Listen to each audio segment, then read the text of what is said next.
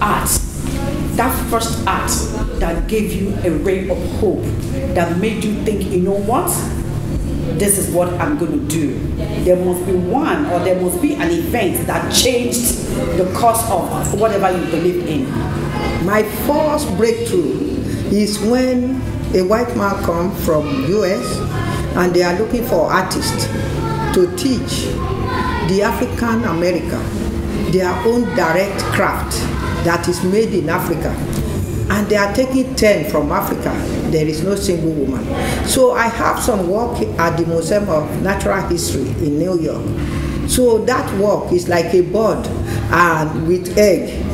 And this bird is a story that I heard from my parents that this bird cannot have an egg for a long time. And by the time he had this egg, he was so happy. So I call it egla, egla. When I want to explain to visitors, they say, what is this? So the Oyibo took it to the museum to be selling for me one dollar, two dollar. That is how they see my, that is my first breakthrough. What year was that? That is 1970.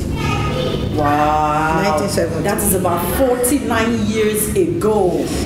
1970 when they took my work to the US, the woman will come back with five dollar, ten dollar for me. I was so happy that eh, this thing can become money. So he said the particular work they like is the one I call egla.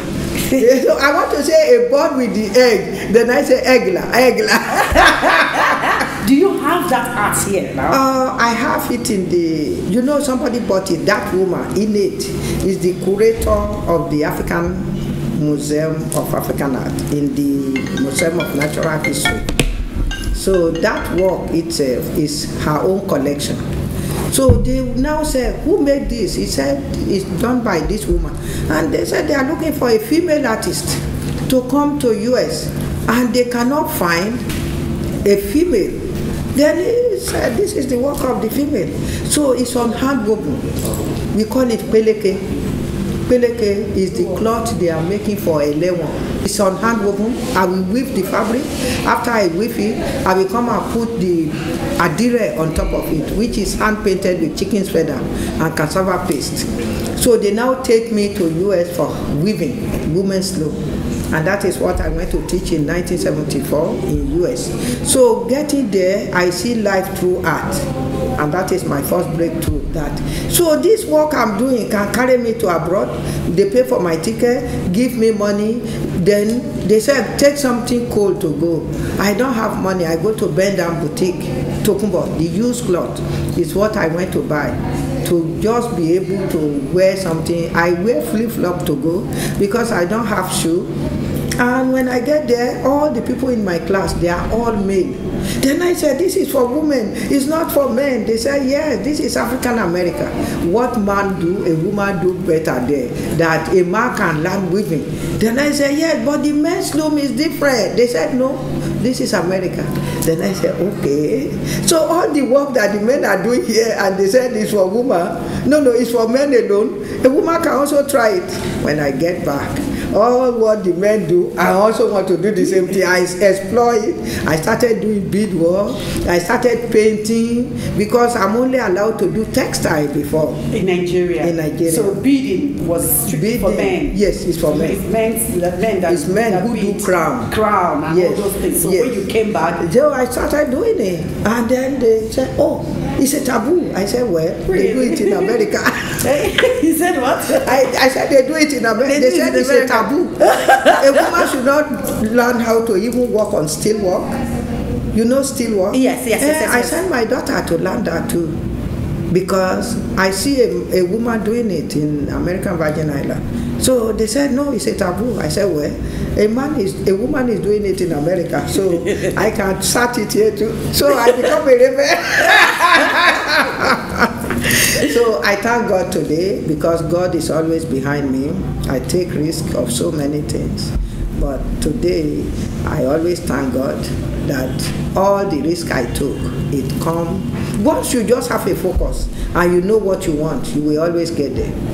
Okay, and then that's Egla. Egla. Egla. that's Egla. That Egla. the You never, you never try to, you know, replicate it again. I try to do it even on the on the beadwork as well, and I weave it on the loom. I try to do it so many ways, and well, sometimes they will say, "What else do you do?" I say, "Snake, python, python." I love to draw snake because my father killed so many snake for meat. So when they say, "What type of meat do you like best?" I will say, "Snake, python." Okay, so so many of your drawings actually, you know, came from things that you see around you, Yes. things that you know you have uh, experienced. Yes. I mean, living like the py- python that you talked about. Yes. And then uh, th- that's where is that where your inspiration come from? Yes, my inspiration come from my dream and the story the our parents used to tell us around the villages what even if you see a snake how you can kill a snake a snake doesn't bother you if you don't touch the if you don't step on them they will you can be living with snake so there is so many stories then i started to put them in drawing then I also do a lot of abule, abule series, which is the village scene, the two or three houses in the farm. Every family have abule in Abeokuta. When you even meet people from Ogun State, and you, if you if he tell you it's from Ogun State, you say, what is the name of your Abba? So if he can tell you, you know it's a typical Ogun State person. you, you, you grew up in Ogun State. No, I know Abule. We have a whole lot of things about Ogun State. Yeah. You're talking about Yeah, because I grew up, I go to all the 50, I have been to the 30 states in Nigeria with the Indian woman who was my boss. We traveled to Agenebo, the Ole, Sabongida, Ora, then go to Turubo, Ida, all these places we traveled to. They are the one who brought me to Lagos first too. Then I say, oh, and then anywhere we go, we stay with them. They will say, when you finish this embroidery, I would like to buy it. Then I say, okay, somebody can be making little, little money from this. Okay, I just stick to them. I was so honest with them, and I was learning because they teach me how to be clean and tidy and to be straight. Don't lie. Don't lie. They said, work hard, you can make it. And they always praise me, Monica, money, when they're happy. Okay, Monica. Eh, my Baptist name is Monica. Monica, Yeah. Monica, uh, that is wonderful. Wow. Well, this is how many floors? This is four floor of artwork, and we have 25,000 pieces here. 25,000 pieces, Pieces of, of artwork from di- from 5,000 Nigerian artists. Wow. So we have a storage at the back. We have art in uh, extension at El Scott. Then we also have art with one of my sons in Houston, Texas. He's going to open a gallery there, and my other son is in Atlanta. He's Okay. going to open a gallery there too. And we also have some in Iowa, Iowa City. So the art we have here, we don't even have enough room. I have four galleries in Nigeria. Okay, but the- you have the one that inside of this gallery. It's that I'm 25,000 It's pieces. 25,000 Pieces. Pieces. Yes. Okay. And it's done by different artists. Artists. My own is not up to 100 there. Okay, and your own is Uh, my, I work with beads, beads. beadwork. I work with textile.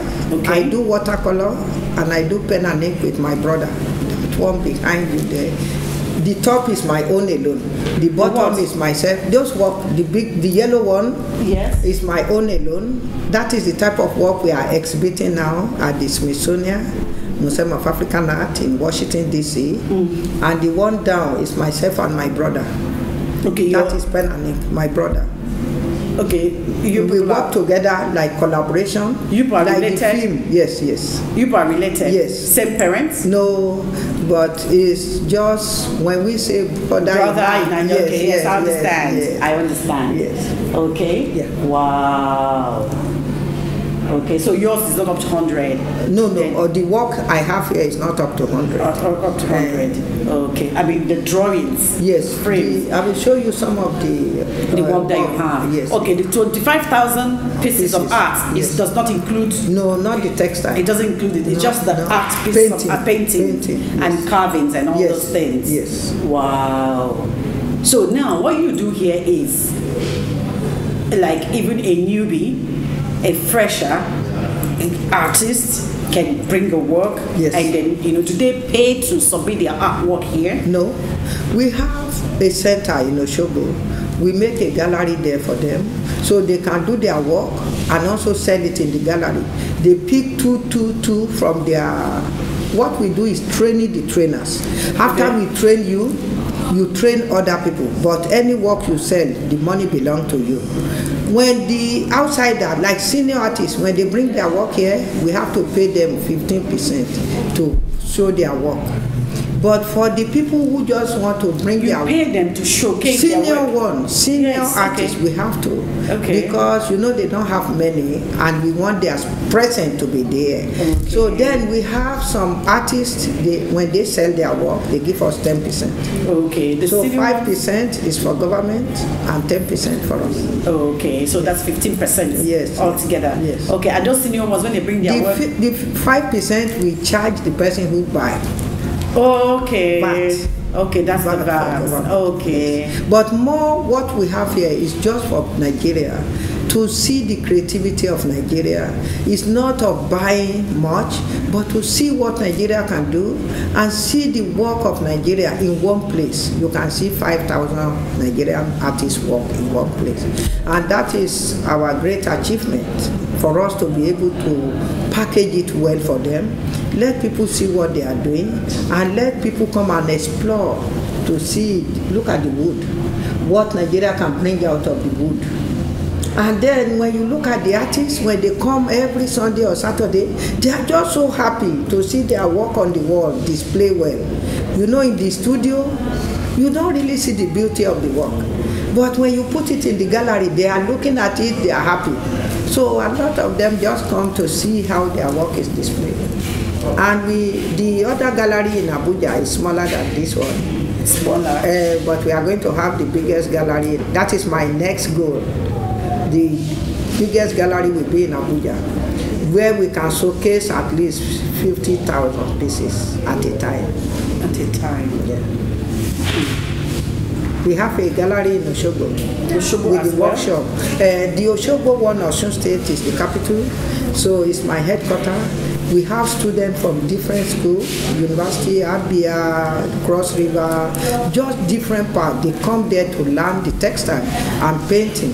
When they finish school and they cannot get a job, they just do it as regular job. So it's a job. And some also work here. So some of them actually, after we train them, we ask them to come and learn how to sell their work. So when they come, like mentoring, so they can be able to face the customer and sell their work directly to the customer. So you're actually passing it down. Yes. Leaving a legacy, you know, because you're just the only maker that I know. You're just one, you're not two. Uh. And we should have Yes, I want to call on. yes. I want people to call on some plenty from me. So- Yes, because we need to, you know, ha- see this often. We need to have this ambience. We need to have this, you know, creativity. We need to have this warm welcome, you know, whenever we, you know, visit a, a gallery. This is my first time, and the kind of reception that I received when I came in here is second to none. It's second to none. You know, they will dance for you, clap, káàbọ̀, ẹ káàbọ̀.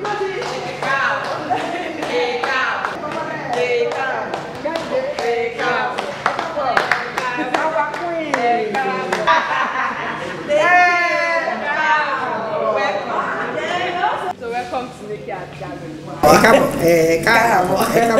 You know, when people take time from Okay. no time, they go into the traffic, they hustle in the, they are thirsty, and they come First of all, customer service is very important in Nigeria. So that is why I like to welcome them. Will you like something cool to drink? So they feel good and say, oh, I don't come here for nothing. It's not the buying, but to take like- time from no time to just come and visit and see our. In those days when people come to see us in the gallery in Oshogo, just to shake our hand alone, they make our day. Just to shake our hand and say, oh, your work is beautiful. That make our day. And you didn't have a lot of people coming at that time. Yes, no. There, were no, there was no awareness. No, and the people who come, they are just expatriate. But now our Nigeria are coming. I'm so excited seeing young girls. Liking you know, that. teens, yes. Yes. They, they come on their own, just, just want to look around. I Yes. was very impressed. Yes. Because you might think it's only, you know, older people that love arts. And I see the kind of reception, the warm reception that they receive. Is that what you do all the time? Because, Um, I mean, you are, you're such a mother. Oh, when I see this young girl, they are our future. The boys, they are our future. And what we are trying to do is to educate them that this art is something that can also bring them peace in future. If you are an artist and you have it inborn in you, do it as your second job. You can be a lawyer, but do your art as a part-time because it's what makes you happy so you see them coming to take picture they are just so happy to be with the art which is a great achievement for us now as a grandmother because we are already at our departure hall so when these people when these people take over No, we are happy back nowhere. you ain't going nowhere. Your flight, your flight will be Ah, delayed. thank you the flight, they, they say the flight is delayed Oh, thank you. indefinitely.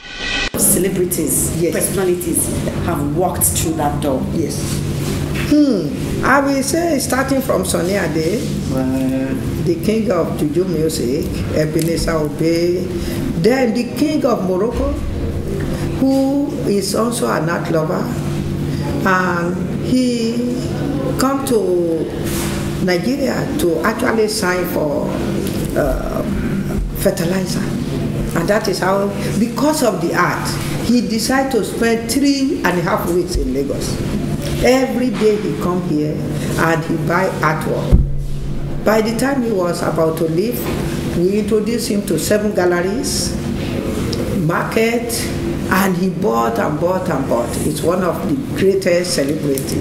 Then we have Genevieve, the Oluchi. Wow. eh, I love uh, all these are our film actresses, even two come today, uh, Davido, all of them, they always come here and they, they are happy. Wizkid, uh, these people know all their names well. so we are always happy to receive them because they are our icon. and Yes, are they happy are. for They've them done us proud, really. They are Yes, our they make icon. us proud. They, Yes. When I get to Kenya, uh, South Africa, they say, "Are you uh, Aki and Pawpaw? Where are they?" So when you look at that, you feel joy that this is. I was in Kenya. They even have a place for Nigerian television, Naija. They call it Naija, and I have been going to Kenya since 1967. But when I went this year, there is a Naija uh, film. I mean, uh, on their television, Naija know, station. It's lovely. It's really, really lovely. And all these guys that come in, do they buy the art or just come to look around? Actually, some of them come for the first time just to admire what we Mm. have. And the people who actually buy, they will just come and they will say, oh, can I have the picture of this? Send it to me. I want to show it to my wife. Then the wife will say yes or no. And then they will say, okay, can you send it to me with DHL or Women will always approve. Yes, They need the approval. Yeah, that is why I'm happy that they follow the voice of their icon. What's the most expensive artwork that you have here? Uh, the most expensive one we have here is 50, let's say 30 million. 30 million naira? Yes. Wow. Where is it? Oh, It's, uh, we have one on the corner here and we have one there. okay. Uh, I will show you. later. Okay, anybody can. I mean, is it affordable? Do you have affordable I have here? something of 500 naira. We start from 500 naira. Okay. Yes, yes. So there's always something 500 everybody. naira, 1000 naira, up to 30 million. Wow. And that artwork is done by a Nigerian. in the Nigeria. Even there is one of our female artists now, the daughter of Akunene, Cosby. If you just go on Google, her work, City, I'm joining you. I'm too far from, from you. the, her work is going for 3.5, 3.4 million dollars, which is 1.2 billion naira. 1.2 billion naira. That is one Nigerian female. She break the world record in Africa. Her name is Njidika Akwene. You go on Google and Cosby. Immediately you just say up uh, Njidika, they will say Cosby. That is her. And the painting, the title of that painting is called Baby Bush. We are both having exhibition now at the Smithsonian. Her piece there is 2.4 million at the Smithsonian now. Dollar, not naira, dollar. So you know when it goes to uh, naira, is uh, the last one go for 1.2 billion naira. So art is like uh, priceless. People decide the price of the artist, not the artist themselves. I can tell you, I will sell this my work for fifty thousand, and then they put it in the auction. So he will bid, you will bid, another person will bid, and then they start to raise your price. So those are the people who make the price of the artist, not the artist themselves. Thank you so Thank you. much. Thank you, thank you, thank you. Thank Thank you. you. Thank you wow. for. Yes, it's beautiful.